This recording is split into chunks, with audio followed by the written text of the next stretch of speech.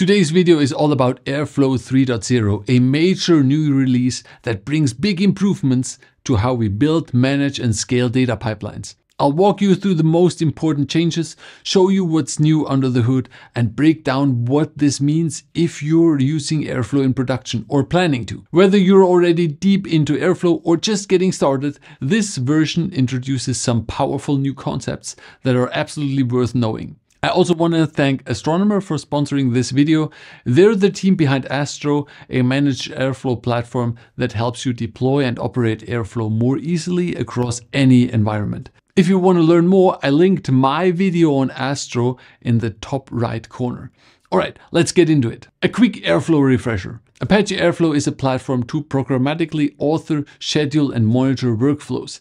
It's been around since 2014 and it's grown into the de facto standard for orchestration of data pipelines, especially in the modern data stack. Now with version 3.0, it's not just an update, it's a fundamental evolution in how Airflow works. New architecture. Let's start with what I think is the most important change in Airflow 3.0. The architecture has been completely redesigned.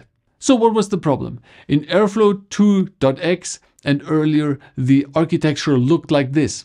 All components, the scheduler, web server, worker, triggerer, DAG file processor talk directly to the metadata database. That setup came with a lot of limitations, especially when deploying Airflow in more complex environments.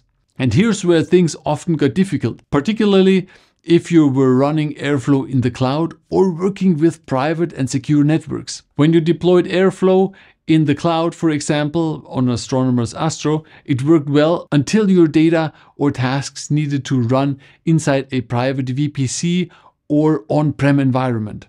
In those cases, workers needed access to the metadata database, which wasn't always possible or secure. Right? Many corporations have multi-layered internal networks, and in those setups, you often can't directly reach the internet or cloud services. They're also extremely strict about opening ports or allowing outbound routes.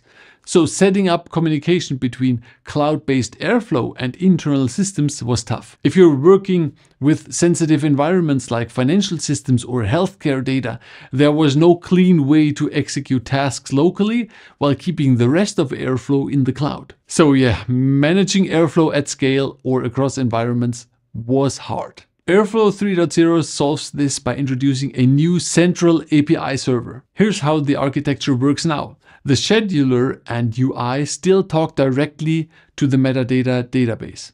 But workers, DAG processors and triggers no longer need that direct access. Instead, they communicate with the API server, which acts as the single point of contact. The API server then handles all interactions with the database behind the scenes. This changes a lot, especially when it comes to network complexity. Now with the API server in place, you can take a different approach because communication happens through an API layer. You can run your workers inside a private network and set up a proxy to forward the necessary HTTP traffic to the API server. This is a much more acceptable pattern in secure environments. Proxies are common. This means tasks no longer need database access, which makes it much easier to connect cloud-based Airflow with private infrastructure.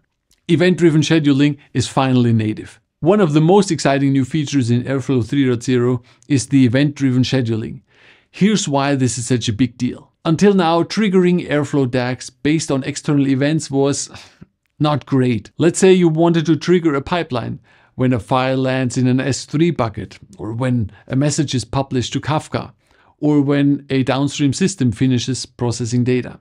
Your only real option was to poll that system using a sensor that runs every X minutes and checks has something happened yet? This creates a bunch of problems. It's inefficient. Sensors just sit there wasting resources. It delays the reactions. You only respond after the next poll cycle. It adds complexity, especially when polling secure or rate limited systems. and it eats up worker loads, which can bottleneck your whole DAG queue. In Airflow 3.0, it's true event-driven workflows. With Airflow 3.0, you can finally go full event-driven, using a new concept called asset watchers. Instead of polling, watchers subscribe to the event source, like S3 events, Kafka topics, or SQS queues on AWS. When a new message or event is detected, the watchers asynchronously triggers the DAG.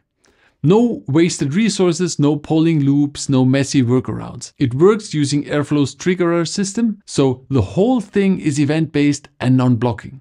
This kind of functionality brings Airflow closer to modern event-driven architecture and makes it way more powerful in real-time data workflows. From tasks to assets, the new asset syntax. One of the biggest conceptual shifts in Airflow 3.0 is how we define pipelines. Up to now, we've used the TaskFlow API, defining tasks as Python functions, linking them together with decorators or XCOMs. Now with Airflow 3.0, we move to an asset-based syntax. Here's the idea. Instead of focusing on how tasks are executed, you focus on what your pipeline produces. Assets could be tables, reports, files, or dashboards.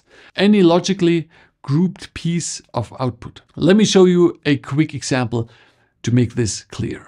In the TaskFlow version, we define a DAG using the add DAG decorator. Inside it, we have three separate add task functions one to extract order data, one to transform it, and one to load the result. At the bottom, we explicitly wire the tasks together by calling them in sequence.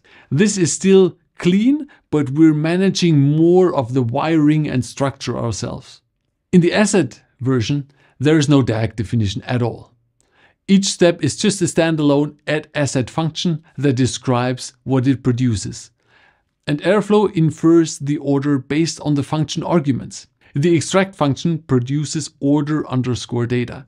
The transform function consumes that and returns order underscore summary. The load function consumes order summary and prints the final result. There is less boilerplate. We also organize the assets using a group, which helps structure things in the UI later. Now, why is this great? You write less code and it's easier to follow right? DAGs become more declarative. You describe what assets exist and how they depend on each other. Dependencies are handled automatically based on function inputs. You can group, version, and reference assets across pipelines. It's easier to reason about what your pipeline produces, not just how it runs. This shift makes Airflow from just being a task scheduler to becoming a more data product oriented tool where the outputs take basically the center of the stage. Here's another awesome concept in Airflow 3.0 DAG bundles. Until now, all your DAGs typically lived in a single folder, often mounted directly into the Airflow environment. Every time a DAG file was touched, Airflow would reparse the whole folder it was messy, slow, and could easily break things across the board. Not ideal for teams or for any sort of controlled deployment. With Airflow 3.0, we get a better way to manage this. A bundle is a structured collection of DAGs, assets, and any support files you need. But what makes this really powerful is that bundles can come from multiple sources. The local file system, Git repositories, or object storages like S3 or Azure Blob. You can define refresh intervals, sync settings, and even load DAGs from different sources into a single Airflow instance. And here's where it gets interesting from a team workflow perspective. When your DAGs live in a Git repo and are bundled this way, you can now build real version control pipelines. You can branch, test, and merge DAG changes like you do with any application code. It becomes much easier to review changes, collaborate, and automate deployments through CI CD pipelines. So instead of pushing your code into a folder and hoping for the best, you can now treat your DAGs like a first class software. DAG versioning.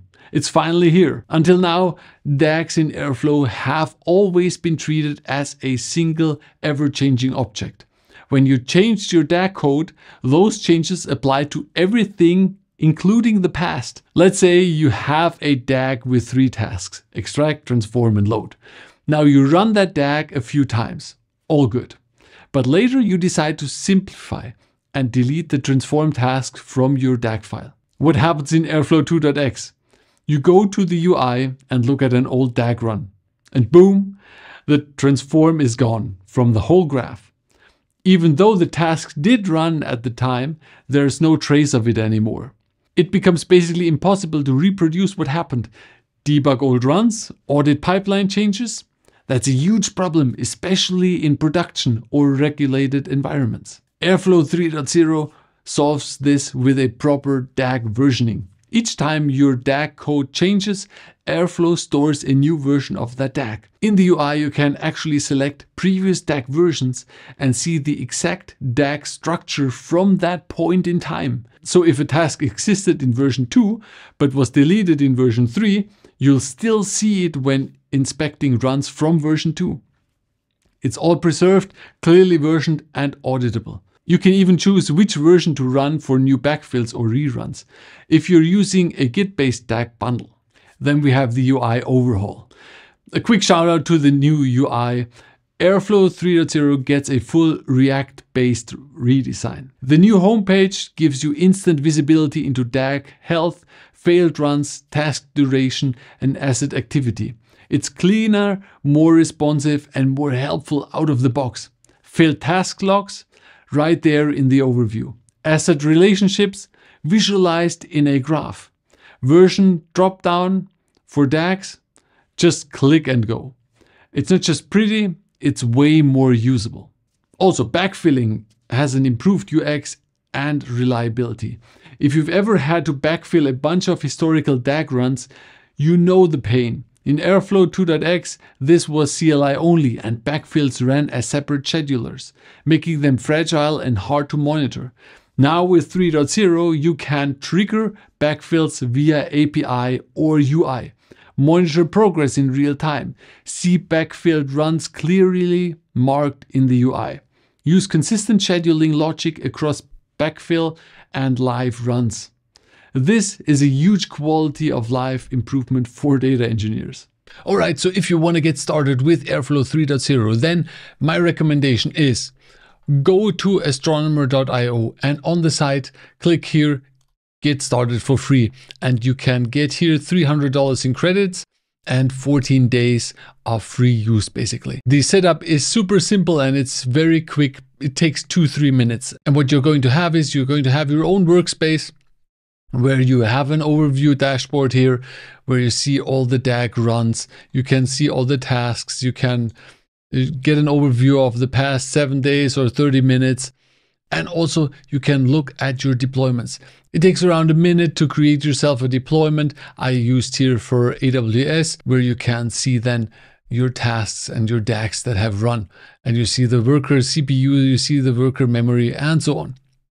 You also can look at the each individual DAG and explore the DAG's process and which are failing, which are successful. And from here you can jump either here directly into your DAG and can look at the Airflow UI and can explore the DAG and what has happened.